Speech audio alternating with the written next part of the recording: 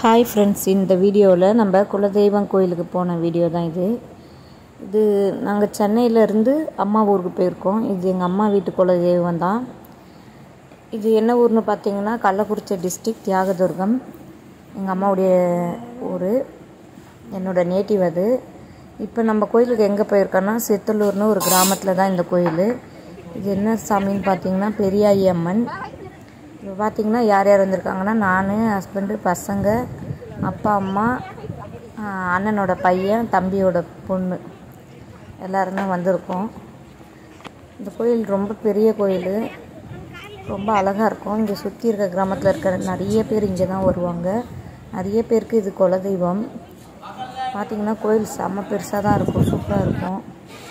இந்த பொம்மைங்கெல்லாம் பார்த்திங்கன்னா எல்லாம் லக்கிதா சைஸு தான். இதோ பாருங்கள் குட்டி குட்டியாக தான் இருக்கும் எல்லா பொம்மையும்.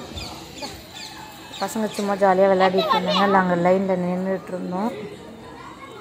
அப்புறம் பார்த்திங்கன்னா இங்கே நிறைய வந்து பொங்கல் வைக்கிறது கோழி ஆடு இந்த மாதிரி எல்லாம் காவை கொடுக்கறது எல்லாமே செய்வாங்க இந்த கோயிலில்.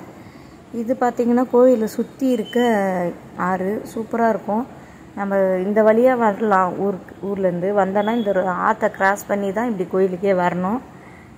இந்த கார் பஸ்ஸுனால் வேற ஒரு வழி இருக்குது அந்த வழியாக வரலாம்.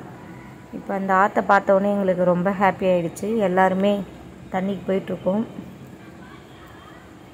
இதெல்லாம் நாங்கள் சின்ன பசங்களாக இருக்கும்போது இங்கெல்லாம் விளையாடுவோம். நீங்க வந்து இங்க ஆற்ற இந்த விளையாடும் கோயில்ல தான் பார்த்தீங்கன்னா எல்லாருக்குமே வந்து தண்ணி வந்து அதிகமா மொட்டை போகும் போடுறது, காது குத்துறது எல்லாமே செய்வாங்க. ரித்திகா ரித்திகா. பார்த்தீங்கன்னா ரித்திஷு. சிவா. இங்கே பசங்களாம் விளையாடிட்டு இருக்காங்க. பாருங்க லக்கிதா. இப்போ அப்பா அம்மா எல்லாருமே போகிறோம் தண்ணியில் கொஞ்ச நேரம் விளையாடிட்டு அப்படியே கிளம்ப வேண்டியதான் இதெல்லாம் நான் சின்ன பிள்ளையா இருக்கும்போது போய் விளையாடின பிளேஸு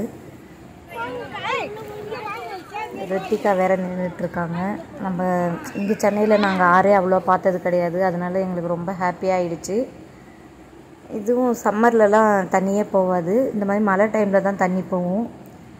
அப்போ தான் போனோம்னா ஜாலியாக விளையாட முடியும்.